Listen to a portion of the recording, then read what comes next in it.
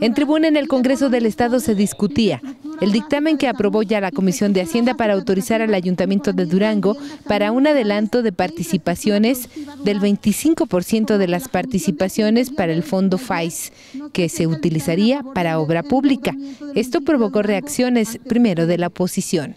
¿Cómo es posible que el PRI en menos de un año de haber solicitado 40 millones de pesos, más la línea de factoraje de 25 millones, el día de hoy solicite casi 73 millones y vuelvo a lo mismo, pues las obras no se ven reflejadas en los hechos y tampoco se les informa a la ciudadanía de las obras realizadas con estos millones de pesos.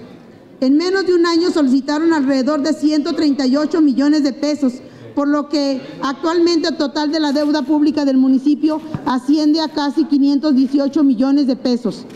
Ahora mencionar que ese dinero que solicitan como préstamo deuda se va a utilizar para obra, simplemente es hacer obra con deuda, lo que es un esquema que viene a quebrantar todo el sistema tanto económico como de desarrollo social del municipio. Por su parte, Manuel Herrera también tomó la tribuna y aseguró que esto es un beneficio para los habitantes del municipio de Durango. Qué lamentable. Temprano la escribes.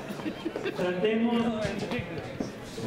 de frenar el desarrollo de los municipios con un instrumento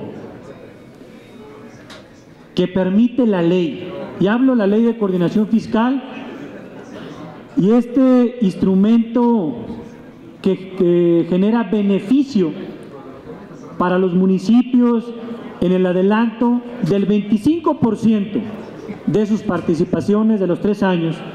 Primero, que es un compromiso que se va a cubrir en los tres años. Finalmente se llevó a cabo la votación con 22 votos a favor de los diputados, 5 en contra, con la imagen de Martín Rueda, Verónica Terrones, reportera.